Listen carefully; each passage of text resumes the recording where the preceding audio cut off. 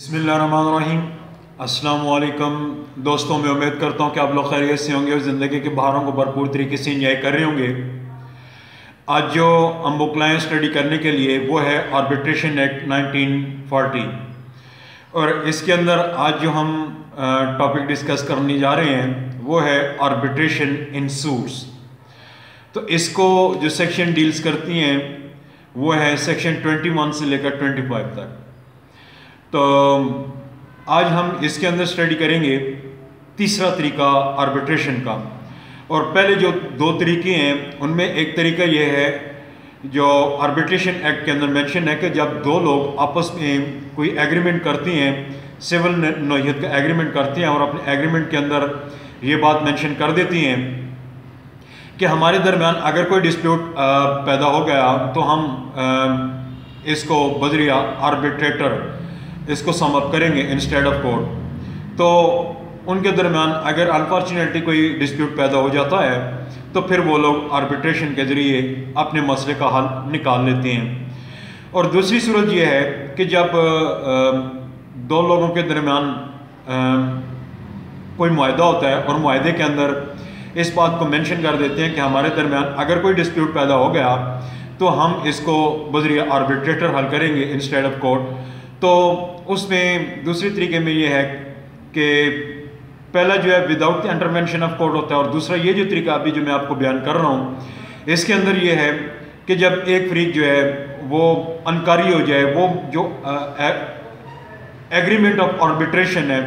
اس سے انکاری ہو جائے یا اس کی، اس کے مطابق وہ عمل درآمد نہ کرے، تو پھر جو ایگریڈ پارٹی ہے، وہ عدالت کی مدد سے دوسرے بندے کو کمپیل کر سکتی ہے درخواست دے کر کہ وہ آربیٹریشن کے تھرو مسئلے کو حل کیا جائے۔ اور آج جو ہم مسئلہ پڑھ رہے ہیں، یہ جو طریقہ کار جو ہے، یا آربیٹریشن کا، یہ تیسرا اور آخری طریقہ ہے۔ اور اس میں یہ ہے کہ آربیٹریشن ان سوٹ اب تیسرا طریقہ یہ ہے کہ جب دو لوگ آپس میں کوئی معاہدہ کرتے ہیں یا وہ کسی مقدمے کے اندر، عدالت کے اندر، ان کا کوئی مقدمہ پینڈنگ پینڈنگ ہے، اور اس کے اندر وہ دو فریق ہیں، یا دو سے زیادہ فریق ہیں۔ اگر وہ عدالت کے اندر انانی مسئلے آ کر اپلیکیشن دیتے ہیں کہ جناب ہمارا یہ مسئلہ جو ہے، اس کو بذریعہ اس کے اندر آربیٹریشن کی جائے تاکہ ہمارے مسئلے کو حل ہو سکے، تو پھر عدالت ان کا، ان کی اپلیکیشن سننے کے بعد ان کا مسئلے کو بذریعہ آربیٹریٹر حاصل اپنا سم اپ کر سکتی ہے۔ تو دوستو ٹاپک پر آنے سے پہلے میں آپ لوگوں سے گزارش کرتا چلوں، یہ جو میرا چینل ہے پلیٹ فار جسٹس کائنڈلی آپ اس کو سبسکرائب کر دیں۔ اس سے میری انکریجمنٹ ہوتی ہے اور ساتھ میں جب بیل آئکن ہو رہے آپ اس کو بھی کائنڈلی پریس کر دیں۔ اس سے میری ہر نہیں آنے والی ویڈیو آپ کو ویلن ٹائم ملتی رہے گی۔ تو دوستو، اس کی سب سے پہلی جو سیکشن ہے، وہ ہے سیکشن ٹوینٹی ون اور سیکشن ٹوینٹی ون کہتی ہے کہ پارٹی ٹو سوٹ میں اپلائی فار آرڈر اور ریفرنس اب اس کے اندر یہ ہے کہ جب کوئی فریق مقدمہ یا دونوں فریق مقدمہ جن کا عدالت کے اندر کمپیٹنٹ جورزیکشن ہولڈر یا سول کورٹ کے اندر، اگر ان کا مقدمہ جو ہے وہ زیر تجویز ہے، اور وہ یہ چاہتے ہیں جی کہ ہمارا مقدمہ جو ہے یہ بذریعہ آربیٹریٹر اس کو سم ہو سم اپ ہو جائے، اس کا تصفیہ ہو جائے، اس کا سلوشن نکل آئے، تو پھر وہ دونوں مل کر عدالت کے اندر درخواست سبمٹ کر سکتی ہیں۔ اور عدالت جو ہے ان کی درخواست سننے کے بعد آربیٹریٹر مقرر کرے گی۔ اور ان کا جو ایشو ہوگا وہ کلی طور پر یا پارشلی اس کو آربیٹریٹر کو، اس کا ریفرنس بنا کر آربیٹریٹر کے سپورٹ کر دے گی اور اس کو ٹائم دے گی کہ آپ بھائی ود ان اسپیسیفک پیریڈ آپ یہ مسئلہ حل کر کے ایوارڈ جو ہے عدالت کے اندر فائل کرو۔ تو اس میں اگر وہ ساری فریق اگر مل کے اگر اس طرح کی درخواست دیتی ہیں تو ویل اینڈ نوٹ عدالت کر دے گی۔ اگر وہ ساری فریق اس کے اندر وہ اپلیکیشن موو نہیں کرتے تو اس میں سارے کر دیتے ہیں تو ٹھیک، اگر سارے نہیں کرتے تو ان میں ایک آدھ بندہ یا ایک سے زیادہ بندے جو ہیں، اگر وہ عدالت کے اندر آ کر درخواست دیتی ہیں، تو ان کی حد تک عدالت پھر وہ مسئلہ بھی حل کر سکتی ہے۔ اب اکیس میں یہ ہے کہ کسی مقدمہ میں فریقین مقدمہ اپنے تنازع کو عدالت کے ذریعے اگر حل کروانا چاہتی ہیں یا تصویہ اس کا کروانا چاہتے ہیں، تو پھر سارے مل کر اس میں وہ درخواست دیں گے تحریری۔ تو اور اس میں عدالت سے ریکویسٹ کریں گے کہ ہمارا جو ہے ایشو جو ہے اس کا ریفرنس بنا کر یہ آربیٹریٹر کے سپورٹ کیا جائے تاکہ وہ اس مسئلے کا حل نکال سکے۔ اس کے بعد آ جاتی ہے دوستو section twenty two section twenty two کے اندر انہوں نے بات کی ہے اپوائنٹمنٹ آف آربیٹریٹر اب اس کے اندر یہ جو اپلیکیشن موو کریں گے مقدمے کے دوران مقدمہ during the course of trial during the pendency of trial in the civil code when any party or both the parties agree and submit their application for appointing arbitrator to some of their issue so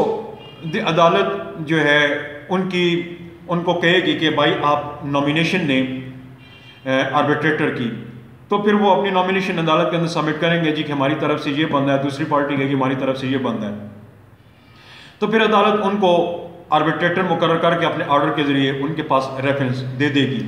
اگر وہ بندے arbitrator مقرر کرنے میں ناکام رہتے ہیں اور یا پھر جو بھی صورتحال ہوتی ہے، تو یہ اگر وہ یہ بات عدالت کے کورٹ کے اندر آ جاتی ہے، تو پھر عدالت جو ہے، اس کے اندر پھر آربیٹریٹر مقرر کر سکتی ہے۔ اس کے بعد آ جاتی ہے سیکشن 23 سیکشن 23 کہتی ہے کہ آرڈر آف ریفرنس اور آرڈر آف ریفرنس میں یہ بات ہے اس میں دو باتیں ہیں۔ اس میں یہ ہے کہ عدالت اپنے کسی آرڈر کے ذریعے کوئی ریفرنس جو ہے کسی آربیٹریٹر کو بھیج سکتی ہے کہ بھائی اس کے اندر اپنا ایوارڈ جو ہے وہ اتنے دنوں کے اندر اسپیسیفک پیریڈ اس کو دے دیا جاتا ہے کہ اتنے دنوں کے اندر اپنا ایوارڈ جو ہے عدالت کے اندر فائل کریں۔ اور ان دونوں کے درمیان جو ہے یہ تصویہ کر کے، ان کے درمیان وہ معاملہ جو ہے اس کو حل کر کے۔ اور فلاں ٹائم کے اندر، اتنے ٹائم کے اندر آپ عدالت کے اندر جمع کروا دو۔ دوسری بات یہ ہے کہ عدالت جس معاملہ میں یا تنازع میں ایک دفعہ کوئی میٹر جو ہے وہ سالس کو بھیج دیتی ہے، تو پھر اس کے اوپر جو فیصلہ ہوتا ہے، پھر عدالت خود نہیں کرتی۔ مطلب کہ ایک اگر فریقین مقدمہ جو ہے، وہ درخواست گزارتے ہیں جی کہ ہمارا ایشو جو ہے، ہمارا ڈسپیوٹ جو ہے، ہمارا تنازع جو ہے، یہ بذریعہ آربیٹریٹر وہ بھیجا جائے۔ تو اگر وہ پورے کا پورا معاملہ جو ہے عدالت آربیٹر کے پاس بھیج دیتی ہے تو پھر اس کے اوپر خود ڈیسائیڈ نہیں کرے گی اگر عدالت جو ہے اگر کسی ڈسپیوٹ یا سبجیکٹ میٹر کے چار حصے ہیں which are disputed among the parties so two, two dispute out of four disputes, if court send upon the discretion of party, upon the uh, wish of party, that these, these two should be resolved by the arbitrator. تو عدالت جو دو جو ہیں وہ dispute arbitrator کو بھیجے گی، تو ان کا پھر فیصلہ خود نہیں کرے گی۔ ان کا فیصلہ خود نہیں کرے گی۔ اور فیصلہ صرف انہی دو کا کرے گی جو اس کے پاس دو باقی پینڈنگ ہوں گے۔ مطلب کہ جو آربیٹریشن کہ کا ریفرنس جو ہے، ایک دفعہ آربیٹریشن کے پاس بھیج دیا عدالت نے، اس کے اوپر پھر عدالت فیصلہ نہیں کرے گی۔ اور وہی فیصلہ کرے گا آربیٹریٹر جو ہے، اس کے اوپر آربیٹریشن جو ہے، اس کے اوپر فیصلہ کر کے بعد عدالت کے اندر داخل کرے گی۔ آسان الفاظ میں میں آپ سے یوں کہنا چاہتا ہوں کہ جس معاملے کا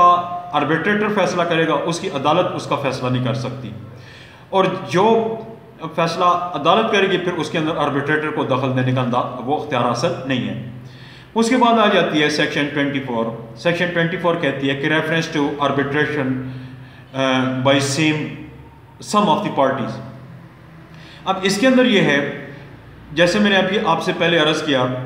کہ اگر وہ کسی مقدمہ، کوئی مقدمہ لیٹیگینٹس کے درمیان یا فریق مقین مقدمہ کے درمیان پلینٹف اور ڈیفینڈنٹ کے درمیان اگر عدالت کے اندر پینڈنگ ہے، زیر تجویز ہے اور اس میں